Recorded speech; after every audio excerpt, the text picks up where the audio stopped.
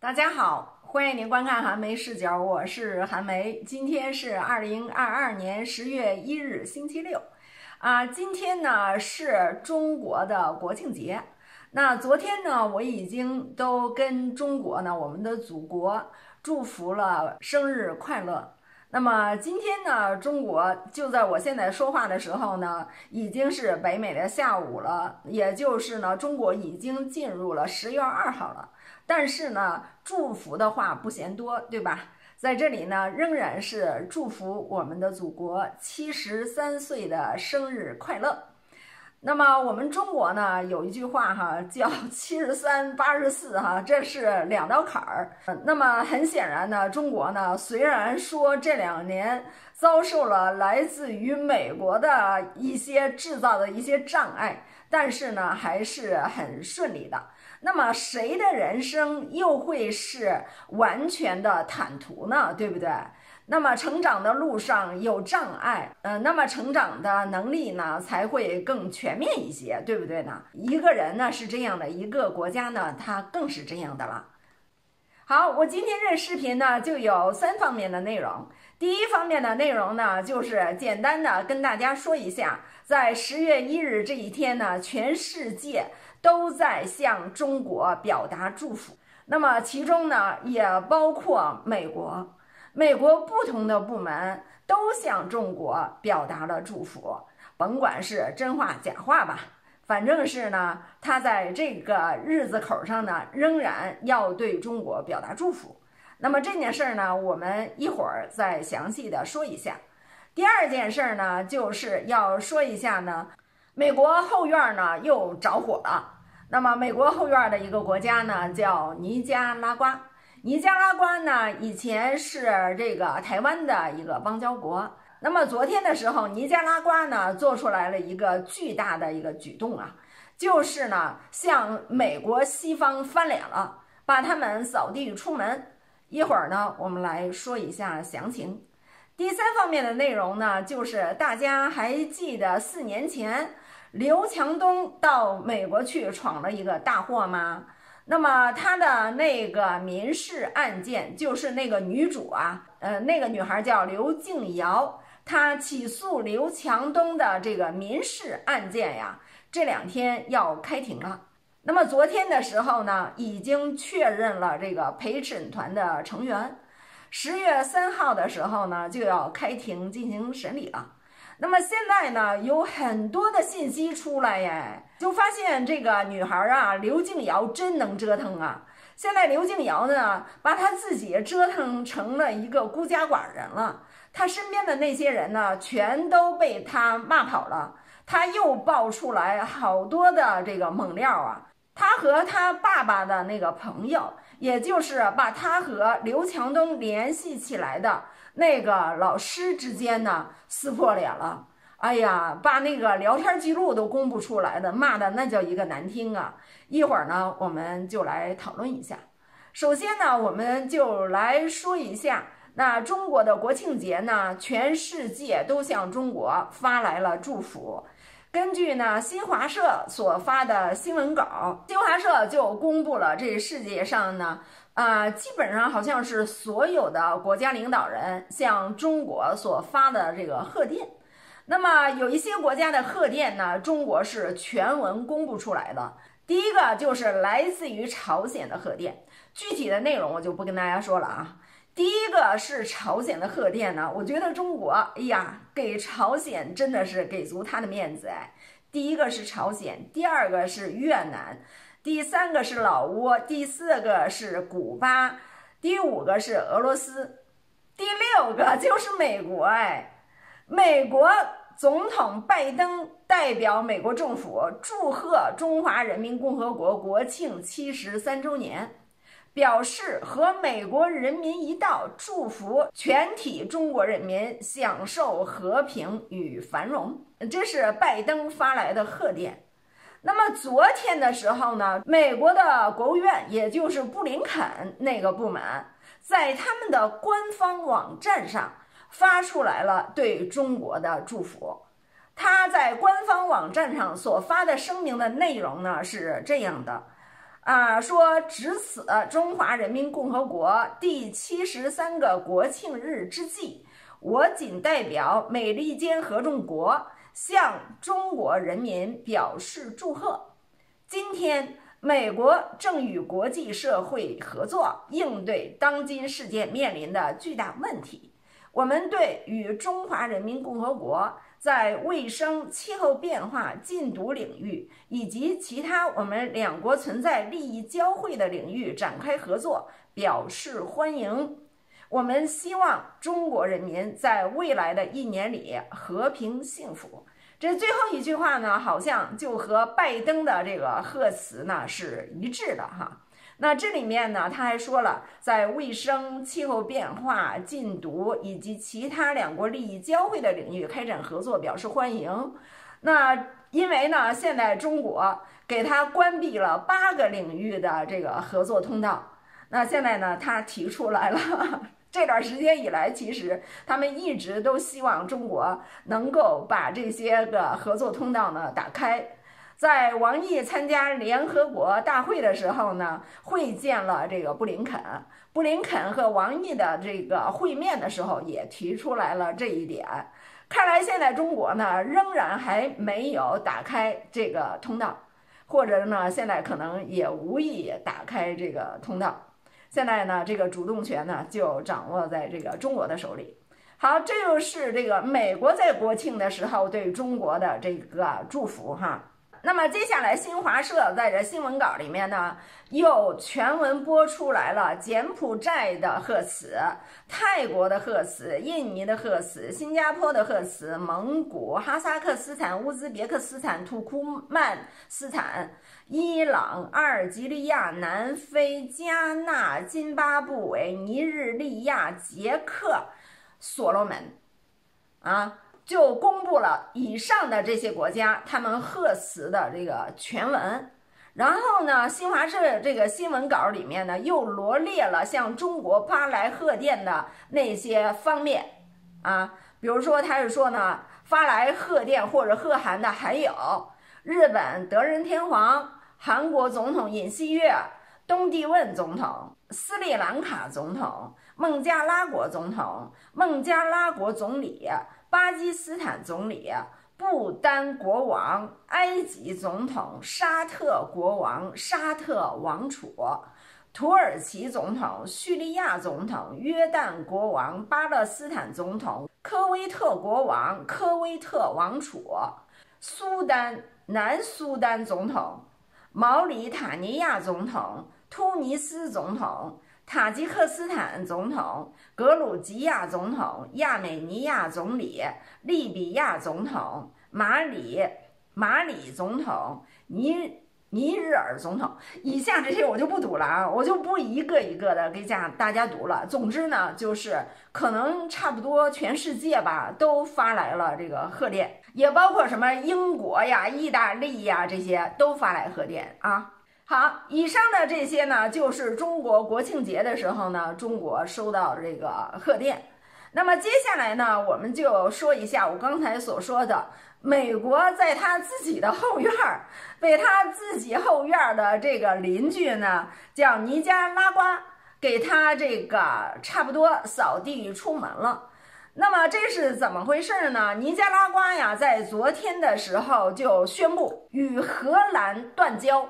并且呢，指控荷兰采取新殖民主义立场，就是说呢，因为荷兰采取新殖民主义立场，所以呢，他们和荷兰断交。那么荷兰方面就是说呢，说尼加拉瓜的这个反应呢，完全是过分的反应，和这个事儿本身呢不相匹配，不成比例。荷兰的外交部呢是今天的时候表示说呢，尼加拉瓜用断交的手段来回应民主和人权事务是不成比例的做法，令人遗憾。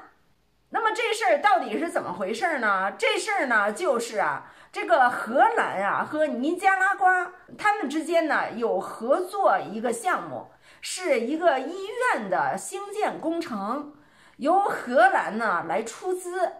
那么荷兰在这段时间以来呢，就不断的对尼加拉瓜的民主啊、人权呀大加指责，一再干预。这是用这个尼加拉瓜政府的话说呢，就是一再的进行干预，抱着一种干涉主义和新殖民主义的立场，对尼加拉瓜的内政呢，就是大加干涉。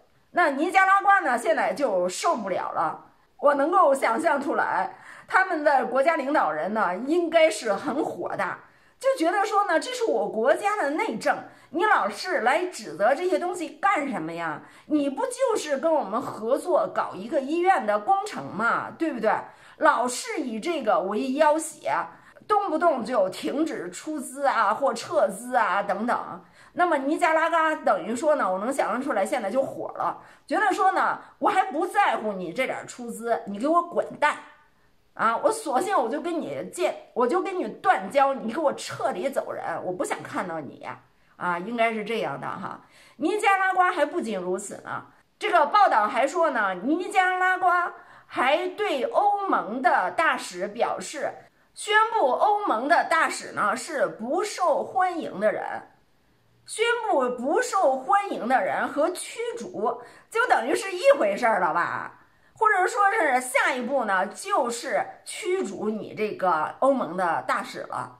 为什么会这样呢？虽然说没有看到这个报道的细节，我们能够想象出来，一定是因为荷兰对这个尼加拉瓜的干涉呢，尼加拉瓜就要跟他断交了。之前呀，断交之前肯定是有各种的交涉。那欧盟有可能呢，就出来对这事儿呢指手画脚。所以尼加拉瓜尔说啊，你欧盟你不要给我指手画脚，我现在宣布你这个大使啊也是一个不受欢迎的人。那同时尼加拉瓜呢还做了另外的一个声明，就是说不准美国新任大使入境，等于说呢，美国可能现在呢就是更换了他的大使。之前的大使呢，可能是撤出来了，也许是空缺呀。不管怎么样，现在呢，他们要派一个新的大使。那尼加拉瓜呢，现在就宣布说，你美国的新任大使，我也不准你入境。那等于说就是把欧盟啊，把美国呀，把荷兰啊，就扫地出门了吗？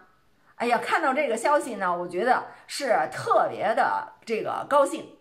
因为呢，美国在全世界一手遮天呢，称王称霸的那个时代呢，真是一去不复返了。这个世界呢，会有越来越多的国家出来跟美国说不，跟西方说不。你看是不是这样的呢？尼加拉瓜呢，真的是很有骨气啊。之前的时候呢，我们就看到所罗门，对吧？所罗门呢，他是一个小岛国了。然后他之前呢，他都没有能力来对自己的这个社会治安来进行保障，所以呢，就和这个澳大利亚签的协议，由澳大利亚来负责他的这个治安问题。那么在去年年底、今年年初的时候呢，他那儿就发生了这个暴乱。这个暴乱呢，说实在，就是从台湾所最有影响的一个小岛开始的，这就是台湾在那儿搞事儿啊。那么这个暴乱呢，就越来越大，越来越大啊，越来越严重，越来越严重。后来就发展到了他们首都的那个最大的那个岛，对不对？那么他们又没有警力，控制不住，所以呢，这所罗门呢就反复的要求这个澳大利亚，你赶紧来给我维持秩序。那么澳大利亚一开始呢就消极怠工啊，就不来。后来好不容易来了以后呢，就是说呢，先是说对于中国大陆在那儿的生意呢，说是不管你中国大陆的生意在那儿呢，被烧了、被砸了，或者人被打了，这些呢，说是一概不管。你这是管治安吗？然后又说呢，对这个所罗门群岛政府还不管，你这叫什么玩意儿，对不对？那人家所罗门群岛呢，觉得说，如果是这样的话，那就是说我和你的合作呢，现在存在着漏洞。那我索性我就和中国之间也签订这样的一个安全保障的一个协议吧。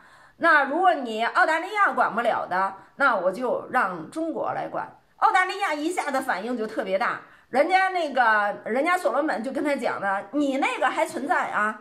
我跟中国签的这个只是一个补充，并不是替代你那个，你那个还存在，你做不到的，我由中国来做。那我们都知道哈，所罗门之前的时候，美国都是个好几十年、N 十年，然后都不派什么大使，结果呢，中国和所罗门进行合作呢，哎，他就跑来了，又恢复了他那大使。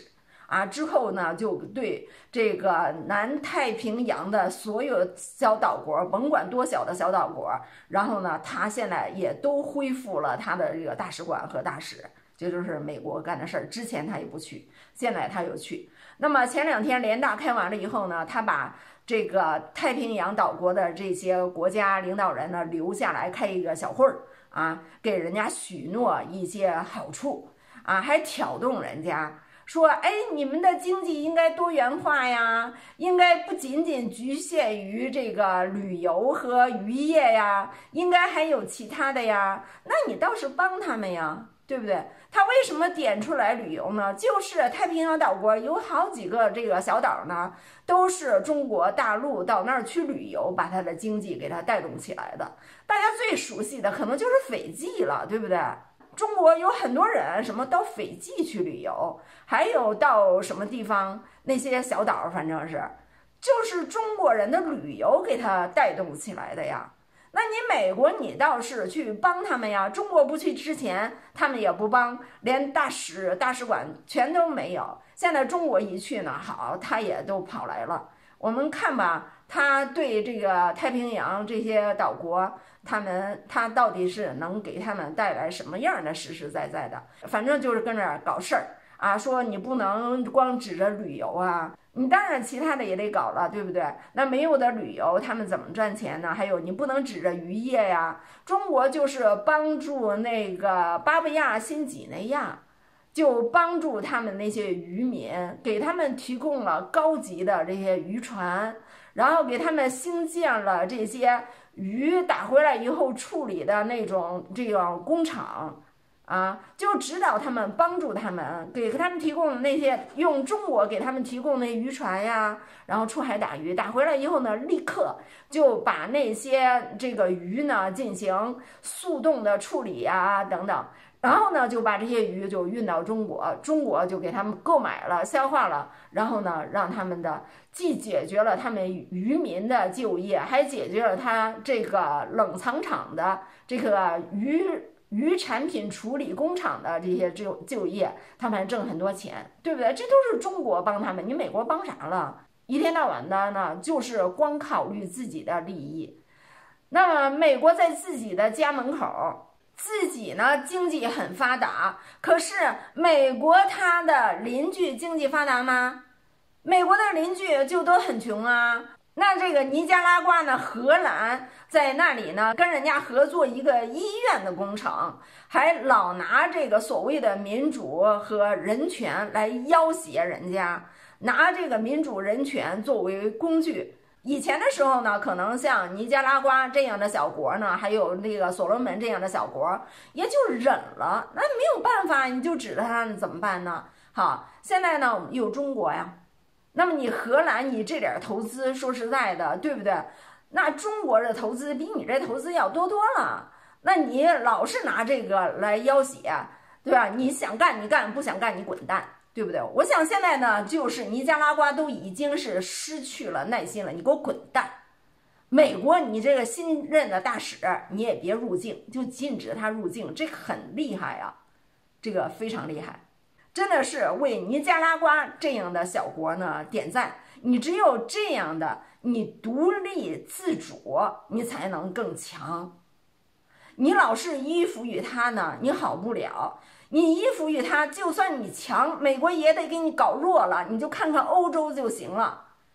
欧洲现在啊，就紧抱着美国，就快要把自己搞死了，很快就要搞死。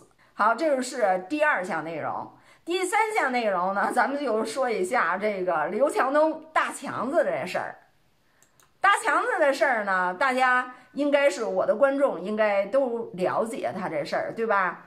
他就是呢，去参加了美国的大学和中国合作的这么一个项目。实际上，美国这大学呢，就是赚中国这帮这个老板的钱，给他们发一个所谓的那个文凭，每个人收，我觉得可能，我觉得不上百万也得好几十万吧，每个人肯定得收那么多。收这么一个大强子这样的一个企业家，顶收多少的那个留学生啊？美国从这个中国这个留学这个项目上来说呢，真的是赚很多很多的钱。他有一些项目呢，根本就是傍着正经大学的一些野鸡项目。刘强东他们这个项目绝对是一个野鸡项目。好，就这样的一个野鸡项目呢。四年前，刘强东他们一行中国的那些 CEO 就到美国去领他们的毕业证的时候，结果呢，学校里面呢就找一些中国的留学生给他们提供服务了。那么中间呢，那一天他们就去吃这个日餐。完了以后呢，这个刘静瑶同学呢，就和刘强东一块儿坐一个车。那这个路上呢，这个刘强东就对刘静瑶呢动手动脚，对吧？按说你动手动脚，刘静刘静瑶你就下车回家，你躲他远远的就得了。结果呢，刘静瑶还拽着死活拽着刘强东，拽到他的房间里面。结果两个人发生了那样的事情。哎，结果呢？刘这个刘静瑶呢，本来他也没有说把这件事情呢当成是一个强奸的事件，他就是希望呢能搭上这个刘强东，对不对？结果呢，赶了他的那个同学就说不清楚，现在也说不清楚是他是不是她男朋友，反正一个叫陶的一个男孩儿。这男孩呢，就主动的就给他报警了。那警察第一次来的时候呢，刘静瑶同学啊还说：“哎呀，没事儿没事儿，我们就是误会。”那人家警察就走了，对吧？走了以后呢，这个刘静瑶同学呢，啊，就是越想这事儿呢，好像是应该怎么操作哈。那这个天亮以后呢，可能继续和刘静，嗯，继续和刘强东的这个秘书啊来探讨，可能想得到一些便宜，可能预感到得不到。那么刘静瑶呢就觉得一不做二不休，再一次的又把警察又叫回来，告诉说呢，我现在要控告这个刘强东强奸。那么，那么美国的这警察呢，立刻就把刘强东给抓起来了。抓起来以后呢，刘强东就在那个看守所里面跟警察就说：“我是怎么回事？怎么回事？怎么回事？哈，完全都是自愿的呀！你已经是出现场出过一次，他他都说这是自愿的呀！啊，我这么我这么有身份的一个人，对不对？然后呢，那警察呢就把刘强东就释放了，也不清不楚的就释放了。后来美国警方的发言人说呢，说不准刘强东离开美国。”可是好像没有任何的书面的东西，好像是让刘强东不离开美国。那刘强东呢？那刘强东呢？回去以后就赶紧坐着自己的大飞机就跑回中国来了。那么这事儿呢之后，美国又想对刘强东提起来这个强奸的控告，结果搞了半天呢，说又不符合这个刑事控告的条件，所以呢就把那个检控呢又撤回来了。或者是没有控告，那这个刘静瑶呢，他也不甘心，他就对刘强东提起来了这个民事诉讼。那民事诉讼在前面呢完成了一系列的这些手续之后呢，在昨天的时候就开庭挑选这呃就挑选这个陪审团。陪审团在昨天的时候呢，经过一天的挑选，已经定了陪审团的情员。呃，那么今天美国呢是一号，明天二号、三号的时候呢就要开始进行开庭审理了。那么就这件事情呢，今天就爆出来了一些这个情况。刘强东方面呢，一方面就是刘强东花大价钱请了特别强大的一个律师团队，这个呢我们一点疑问都没有。刘强东那么有钱，当然是请最大的这个律师团队了，对吧？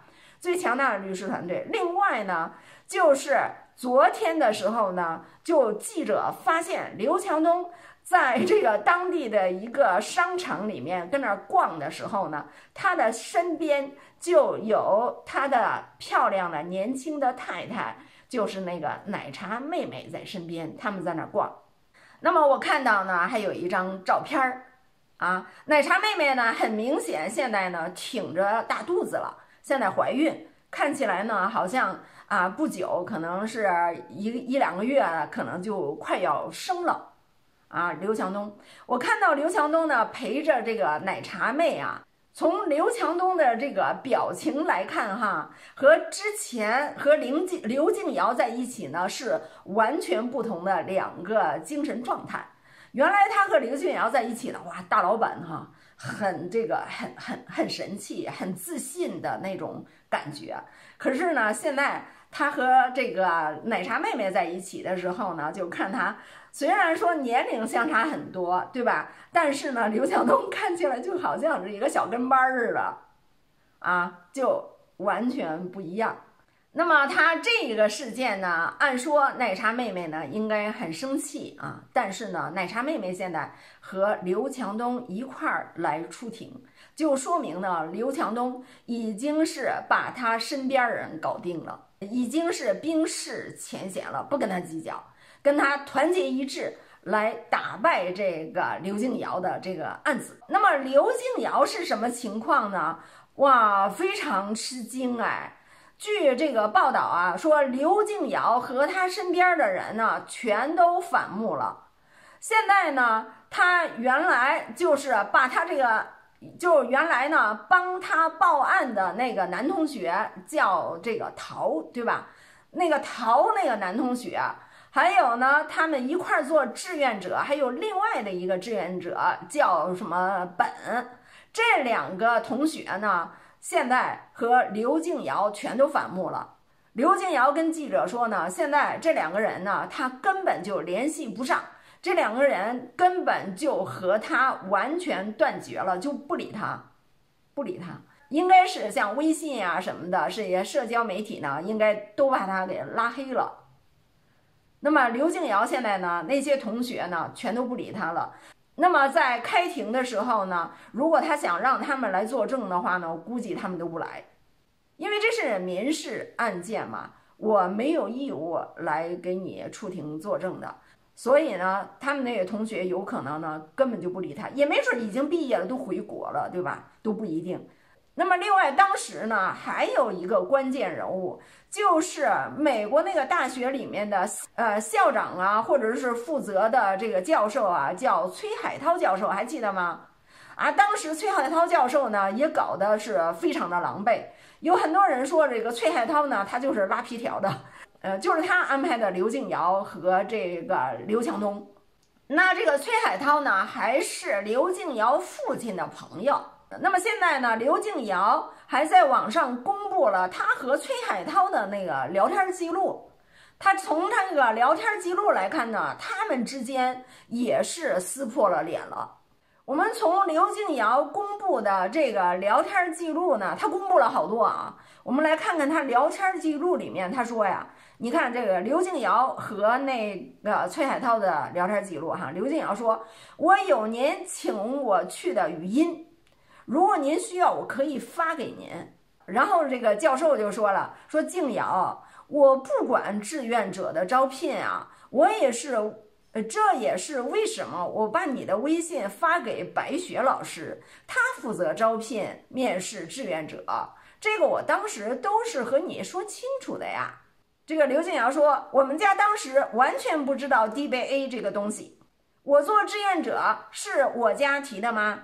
说李华和陶的事情暂时就不论了，您有本事不要屏蔽我，还请您吃了饭。现在想想真是悔不当初。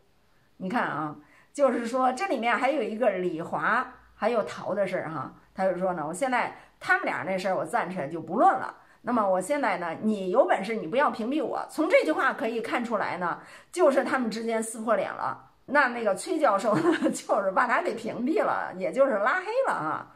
然后呢，这个刘静瑶很明显还请他吃了饭，说我还请你吃了饭，现在呢真是悔不当初，我都不应该请你吃饭。然后这个崔教授又说了，说静瑶，我是三十一号晚上才知道三十号晚宴的存在呀。刘静瑶说，您敢说让我去 DBA 当志愿者，不是您提出来的吗？崔教授说：“网上对我多少污蔑，给我的个人名誉和家庭带来多少伤害，你了解吗？”然后刘景瑶说：“李华难道不是通过您找到的桃吗？那我呢？您这么大把年纪也不害臊？你看他说的话呢，特别不客气，就是已经撕破脸了呀。那还是他爸爸的朋友。他说：‘您这么大把年纪也不害臊，和那群垃圾站队坑害别人。’然后呢，这个崔教授就说了：‘静瑶，网上对我的污蔑是你们放出来的吧？对一个老师，你们怎么能这么做呢？’刘静瑶说：‘您搞清楚，网上的言论不是我放的，我也没那个闲工夫去干这个。’我天哪，我就不往下读了啊，就是底下还有很多。”那这个很显然，这是他放的吧，对吧？那前面那些，我觉得 那些，如果不是他放的话，那也是他受益放的吧？哇，这个女孩啊，真的是这个女孩不行啊！这个女孩现在已经是众叛亲离了。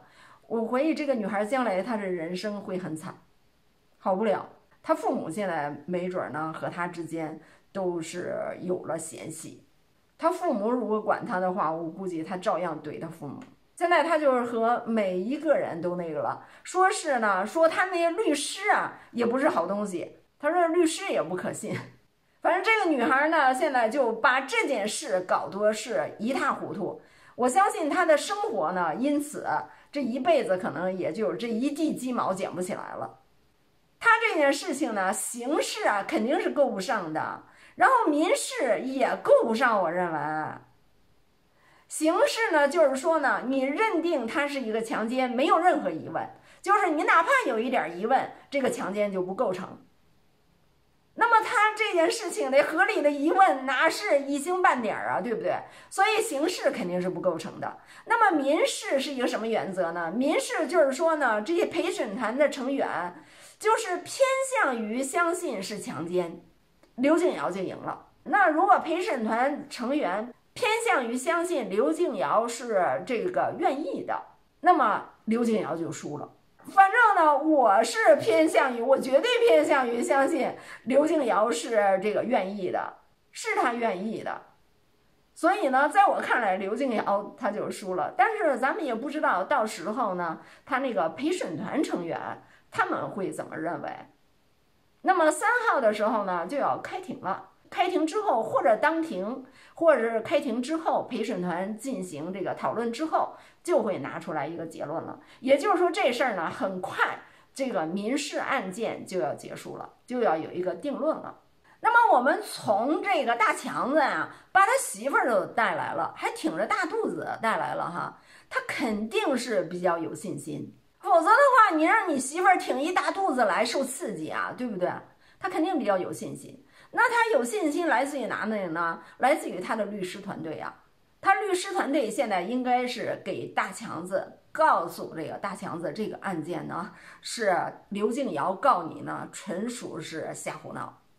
我也认为刘静瑶就告这个案件呢，纯属是瞎胡。所以呢，大强子现在有了这个定心丸了啊，还有这个奶茶妹妹也有了这个定心丸了，所以呢，陪着她老公一起来给她老公打气。也向全世界来宣告啊，我们的家庭没有破碎。你刘静瑶呢，毁的是你自己的人生，你没有毁这个大强子的人生，你没有毁这奶茶妹妹的人生，你没有毁大强子和奶茶妹妹这个家庭。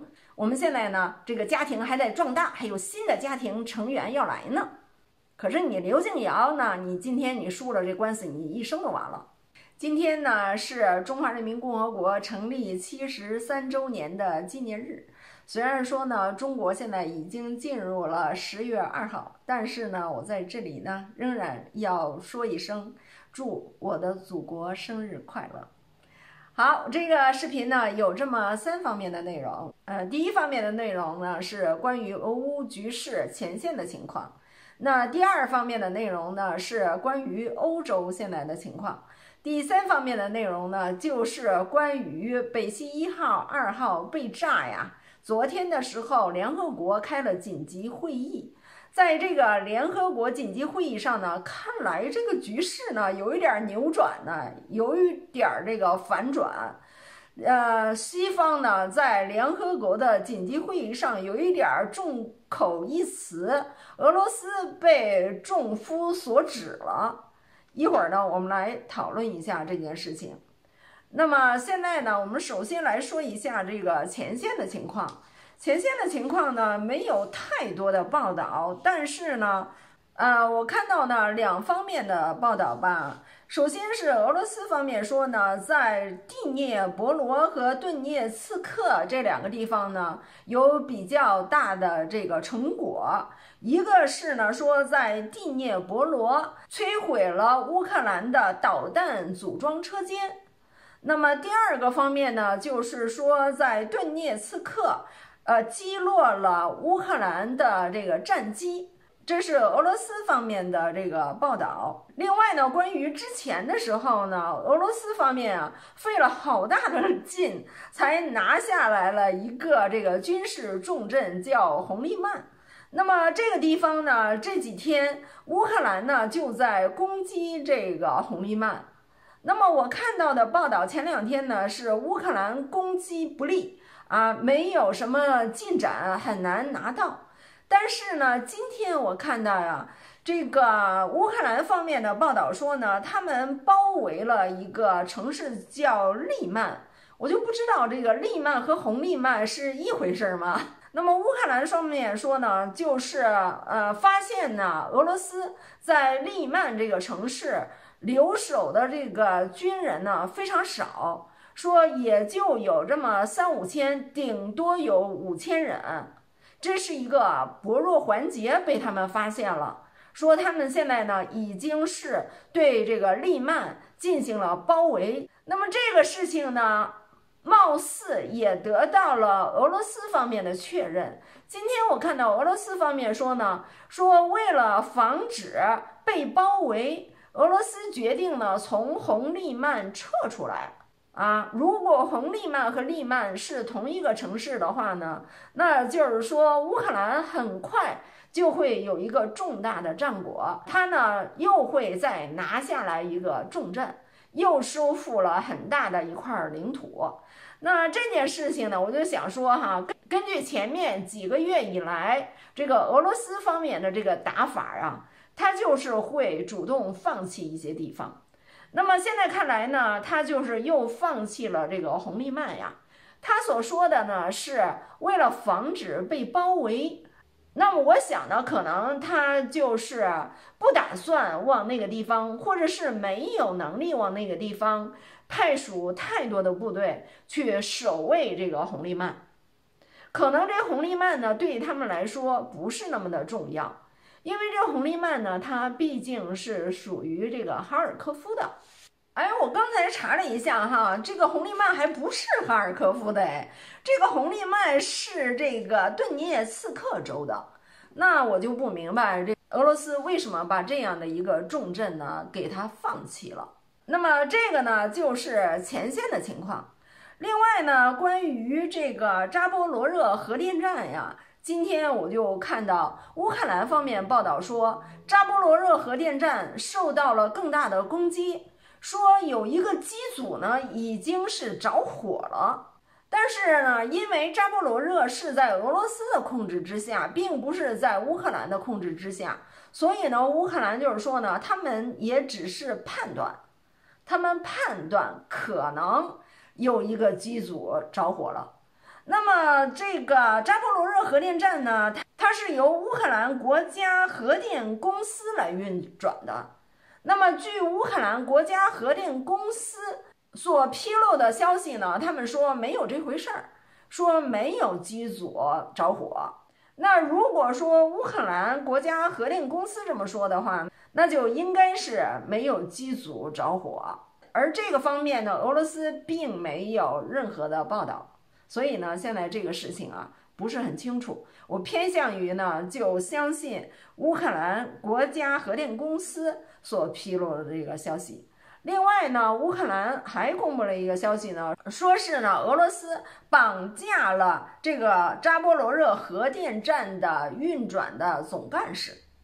这这条消息呢也没有得到俄罗斯的确认或者是否认。那我想呢，乌克兰可能是是不是现在是这么一个情况啊？就是他这个乌克兰国家核电公司有可能呢，他们是中立，或者是呢他们偏向于俄罗斯，或者是呢他们和乌克兰政府呢不是很一心。所以呢，乌克兰方面的消息和国家核电公司的这个消息呢，信息啊就不对称、不一致。那么他现在呢又说这个总干事被绑架呢，可能就是想说俄罗斯方面完全控制了这个扎波罗热核电站，不光是这个地方是由俄罗斯控制的，那么这个运转的团队可能也是由俄罗斯控制了。可能之前呢，就只是这个总干事可能不太听俄罗斯的，现在呢，可能把他给绑架起来了，然后他们就听了。乌克兰放出来消息呢，可能是也给有关方面听的这个消息。有关方面如果说不清楚这个国家核电公司他们发布的消息有什么倾向性的话呢，那么乌克兰发布的这个消息就告诉他们，从现在开始。呃，国家核电公司所公布的消息呢，就是偏向于俄罗斯的，而不是乌克兰，有可能是这样的啊。另外呢，就是再说回来，关于为什么说俄罗斯又放弃了红利曼这个重镇，我估计啊，可能就是俄罗斯现在确实是兵力不够。呃，不是在普京公布了征兵的那个征兵令之后，俄罗斯呃乌克兰呢就攻击俄罗斯呢，说他兵力不够吗？在那之前，乌克兰也在攻击俄罗斯呢，说他们的兵力不够。那么现在呢，这四个州呢都并入了俄罗斯，对吧？再加上之前的这个克里米亚。那这也等于说呢，五个州都并入了这个俄罗斯。那这个五个州不需要保卫啊，肯定是需要保卫，对吧？那需要保卫的话，会需要更多的这个军力啊。所以他现在呢，征兵的这三十万呢，很有可能是为了将来要保卫这五个州的。说实在的，三十万的兵力，如果要长期的保卫这五个州的话呢？呃，我也不是一个军事专家，我就觉得好像也不是那么的充足吧。另外，我看到呢，乌克兰现在就放出消息说呢，说他们在前线俘虏了一个四十五岁的俄罗斯的这个士兵，说这个四十五岁的俄罗斯的士兵呢，就是刚刚征兵的，在这个三十万人之内的。说他返回这个前线呢，只有一个礼拜的时间，呃，就被俘虏了。说之前呢，俄罗斯就是说这些预备役给他们征召回来以后呢，是要进行训练的。他就这个老兵的情况来说明，说看来呢，俄罗斯所说的那个训练呢，并不存在，或者是呢，没有时间来实行。呃，我认为这个消息有可能是假的，为什么呢？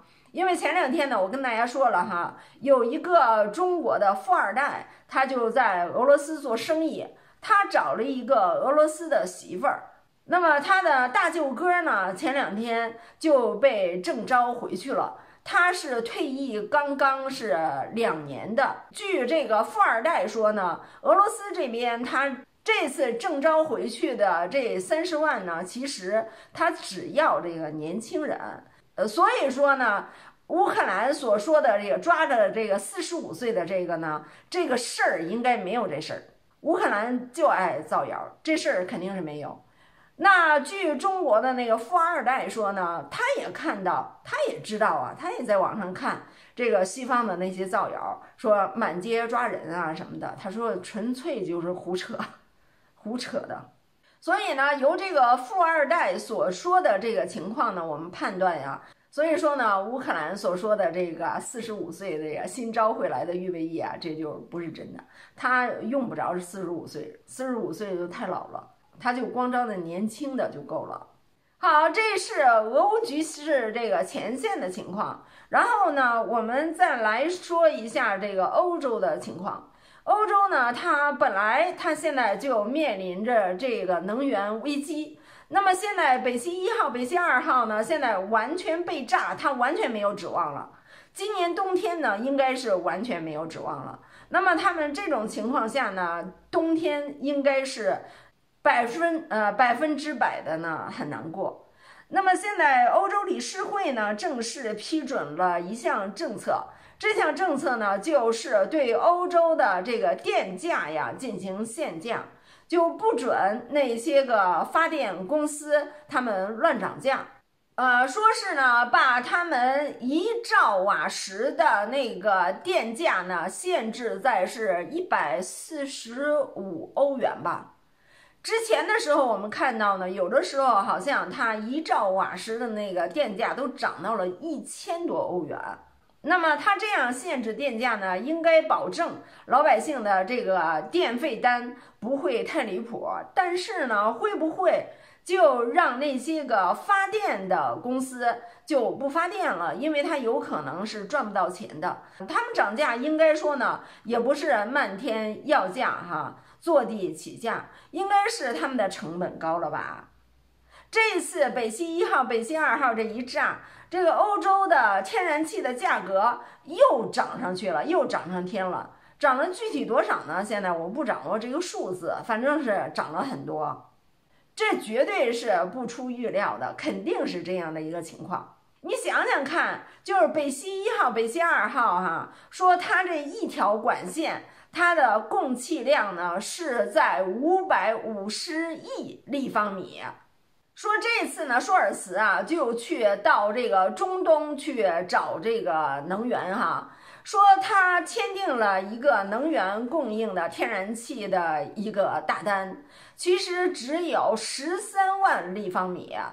你想想看，十三万立方米和五百五十亿立方米，这差了多少去了呀？所以说这两条线儿给它炸了以后呢，这个欧洲绝对说对他们是毁灭性的。也许现在呢，他们做了储备，之前的时候他们做了储备，说德国的储备呢已经有了百分之九十多，说是，也许这一个冬天呢，他们没准儿可以过得去。那么这些储备用完了怎么办呢？这些储备用完之前，这两条线能修好吗？啊，所以说呢，现在欧洲呢是非常非常的这个恐慌的，确实是一片恐慌。现在欧洲呢，好多的东西啊，过冬的东西啊，都被抢购一空，比如说是电热器呀、电热毯呀这些东西。哎，说到这儿哈，我前两天看到一个笑话哈，就是笑话啊，有人拍的那搞笑的，说就有两个老太太哈，跟那神秘兮兮的跟那讨论，说哎，你知道吗？现在欧洲的那个北溪一号、北溪二号那个供气管道都被炸了耶。另外一个老太太说是吗？她说那个本来呀，欧洲这个气啊就不够用，不够用呢，冬天又要到了。所以呢，他们就抢购这个电热器啊、电热毯呀这些东西。说现在呢，这个天然气管道一被炸呢，人们就在想这是谁炸的。然后另外一个老太太说：“那谁炸的呢？”那么第一个老太太呢，就是说：“这不很明显吗？谁是受益一方啊？那肯定是义乌的那些卖电热器、电热毯的呀。”这是一个笑话，好笑不？真的是挺好笑的哈。然后我们再来说一下啊，就是这个乌克兰现在呢又紧急申请加入北约。那么我们来看一看北约和美国是什么表态啊？美国就是说呢，现在不是讨论乌克兰加入北约的时候。而这个北约秘书长呢，斯托尔滕贝格他也说，他说呢，我们这个北约的大门呢，一如既往的是对任何人敞开的。然后加入申请不申请加入北约呢，完全是乌克兰他自己的决定。然后呢，他话锋一转，他又说呢，我们现在当务之急是支持这个乌克兰提高他的自卫能力。那换句话说呢，就是不会来接受乌克兰加入北约呀。那 如果说他们两家都不会接受乌克兰加入北约，那乌克兰干嘛在这时候又提出来这么一个申请呢？真是挺奇怪的。如果他们两家没有人去暗示乌克兰的话，乌克兰能来搞这个事情吗？对不对？看来这个乌克兰呢，可能又被他们耍了吧？或者是呢，他们就用这件事情啊来刺激俄罗斯。好，昨天呢有一个重大的消息出来哈，我昨天的视频里面呢没有来得及跟大家分享，就是这个德国议会啊。现在对于就是是不是继续对乌克兰提供军援的这件事情呢，进行了这个投票。那么德国的议会投票的结果呢，现在就是非常的逆转了。那么是不是对乌克兰继续进行军援呢？只有一百七十九个议员投了赞成票，有四百七十六个议员投了反对票。投反对票的比投赞成票呢多了将近四百票哎，这是非常明显的。这就是基于呢北溪管道的一号、二号被炸的这件事情。这个被炸呢，德国人就认为是美国炸的，所以呢他们就很生气。既然是你们这个捏骨来毁了我们，断了我们的后路，对吧？那么我们干嘛还跟着你们的后屁股后面？去响应你们的这个号召啊，所以呢，他们就投了这么一个票。但是呢，就关于北溪一号、二号被炸的这件事情呢，现在看来呢有所逆转呢，哎，有所逆转。之前不是跟大家说了吗？这事儿发生以后呢，联合国立刻就做了一个这个安排。就是在三十号，也就是昨天的时候，开一个紧急会议来讨论这件事情。那么这个紧急会议呢，昨天就召开了。根据美国之音的这个报道啊，在联合国这个会议上，貌似呢，现在西方国家把矛头指向了俄罗斯。啊，那么根据这个美国之音的报道呢，我就是看到哈，俄罗斯好像又被他们包围了。就是美国、欧盟、北约啊，他们一个口气，然后俄罗斯呢就是一个口气，俄罗斯呢就指向英美，说是昂格鲁萨克逊人嘛，哈，昂格鲁萨克逊人就是指英美了，因为不可能是其他的三个国家嘛，就是指向他们。那么美国在这个联合国的会议上呢，就是说。所有的指向美国的这种说法呢，都是非常荒谬的。他说：“他说，如果这件事情是哪一个国家干的的话，那么他肯定不是美国。你看啊，他用的词还说，如果是哪一个国家干的，那这件事情不明摆着就是国家干的吗？个人哪里有这个力量来干这事儿啊？对不对？”那么前面所有的人都是就这个动机、能力和受益来进行判断吗？啊，还再加上谁在现场，谁能够接近这个现场，从这些方面我们就看出来，不是美国亲自干的，就是美国这个指使别人干的，他不可能是俄罗斯。可是呢，现在美国、欧盟、北约。他们就众口一词的指向俄罗斯，他们怎么指向俄罗斯呢？他们就是说呢，俄罗斯是有动机的。俄罗斯有什么样的动机呢？说第一啊，就是俄罗斯它自从俄乌冲突以来，它在乌克兰持续的一直都是对这个基础设施进行摧毁。说这个北溪一号、北溪二号呢，就是基础设施，呃，就是基础设施。然后北约还说什么呢？北约说，我们发誓，对于我们所有的成员国，我们现在有三十个成员国，对我们任何一个国家基础设施的这种破坏呢，我们都要坚决的进行报复。你看这是什么意思？现在就是说呢，这个北溪一号、北溪二号就是他们德国的基础设施，它是他们北约的成员国，啊，他就认定现在我们的成员国德国的基础设施受到了破坏，我们坚决要进行报复。他显然不可能是指美国，对不对？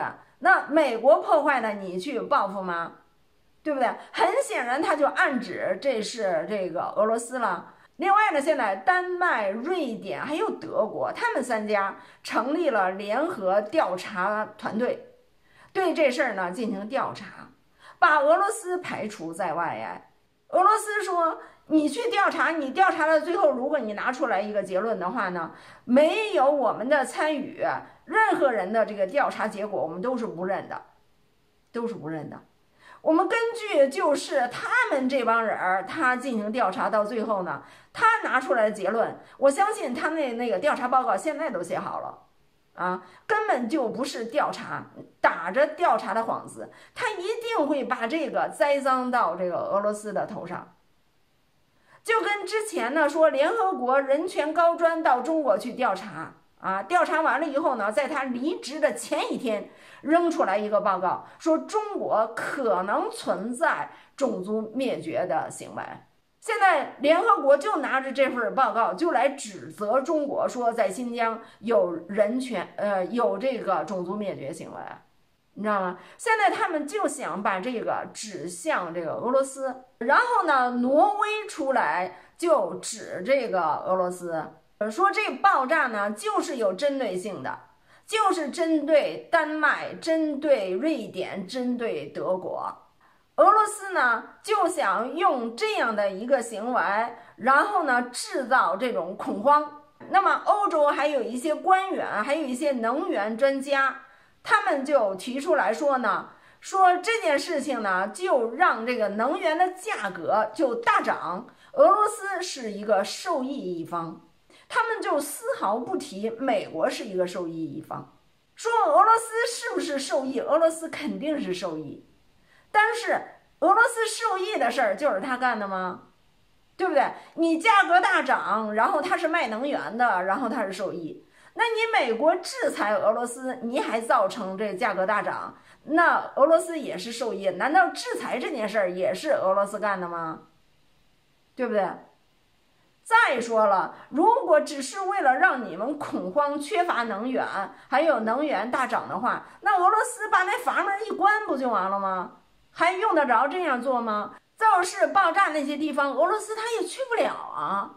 所以呢，你现在你就看哈，现在他们就把这个矛头呢就指向俄罗斯，搞不好呢，就联合国里面呢炒成了一锅粥。现在炒到最后，他们有可能捏不出来一个报告，然后就说是俄罗斯。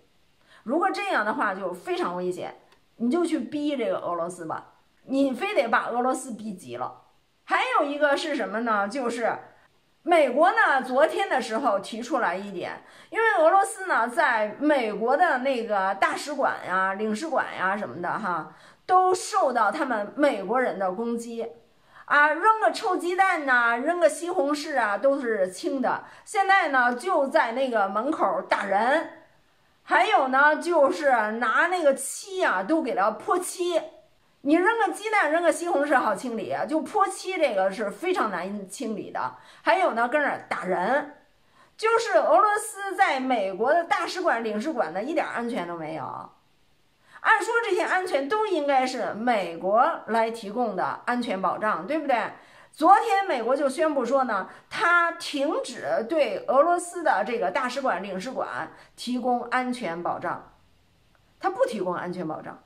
你俄罗斯的安全你自己负责，我们不管，打死你活该，你被打呀什么的，别来找我，我们不管。你说美国是不是？我觉得什么事儿都能做出来，就跟小孩似的，一点都不负责任。之前的时候，我记得那个习近平都说过，说你美国你哪里像一个大国的样子啊？真的是美国哪里像一个大国的样子啊？经常是耍这个小孩脾气。做事情呢不管不顾，不计后果，就是这个北溪一号、二号被炸的这件事情，这个口子一开，真的以后这个后果不堪设想。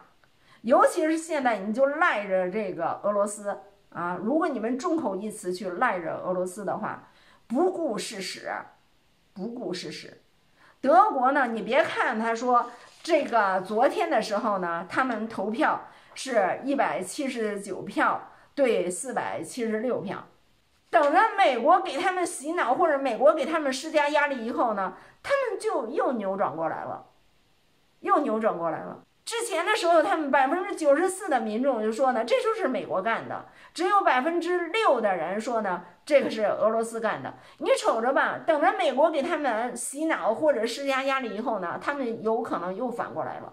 就是欧洲哈，活该他们这次让美国给他搞死。欧洲只有被搞死了才老实了，就等着被搞死吧。好，我这个视频呢就跟您说到这里，感谢您的收看，下次再见。